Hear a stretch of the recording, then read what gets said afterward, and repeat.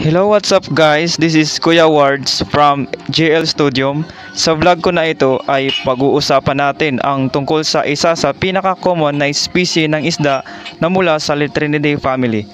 Ito ay ang Litrinus lenjan. Guys, handa na ba kayo? Okay, umpisahan na natin. Litrinus lenjan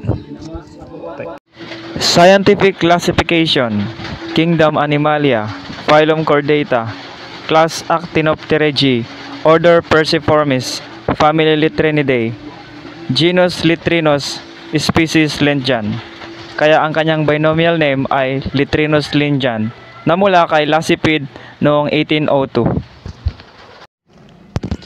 Sinasabing si Litrinus lenjan ay kabilang sa species ng emperor fish o mas kilala sa tawag na kanuping, kilawan o katambak. Sila ay may distinctive na mapulang kulay sa katawan lalo na sa bandang buntot o caudal fin, gill cover at dorsal fin kasama na ang anal fin. At ito ang ilan sa mga common names ni Litrinus lenjan na mas kilala sa iba-ibang parte ng mundo. Kapatid, alam mo bang Ang karamihan sa kanila ay makikita ay sa Indo-West Pacific na may Oceans, habang ngunit sinasabing ng 50 sila ay nabubuhay din pala. Ang katawan nito ay mala sa iba't ibang parte ng karagatan. at ang kaliskis nito Kagaya ay na lamang malalaki at naka-diamond pattern. Red Sea,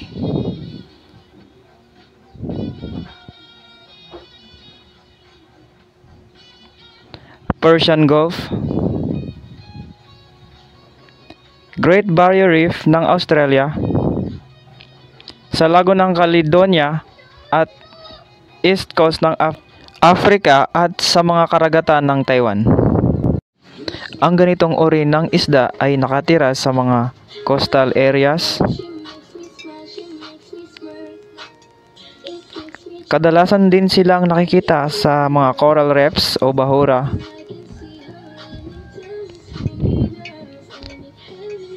Sa mga mabubuhanging parte at sa mga madadamong parte ng karagatan. Pati na rin sa ating mga mangrove swamps.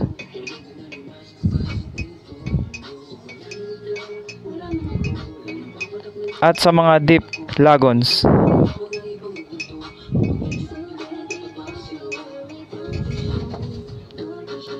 Kapatid, alam mo bang ang mga young juveniles ay madalas na nakatira sa mga mababaw na parte, subalit ang mga adults naman ay kadalasang makikita sa mga malalalim na parte na umaabot, na umaabot hanggang 84 meters ang lalim.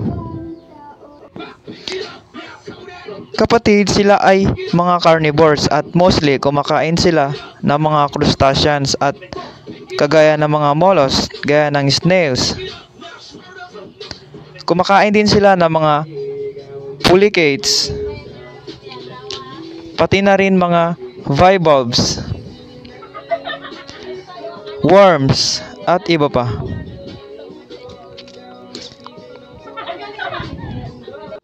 So, yun lang muna mga kapatid.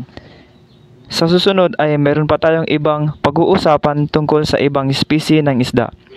Kung ikaw ay merong uh, natutunan Pwede mo ring i-like ang video na ito at huwag mo na rin kalimutang mag-subscribe at i-hit ang notification bell. So, yun lang muna mga kapatid. Babayu!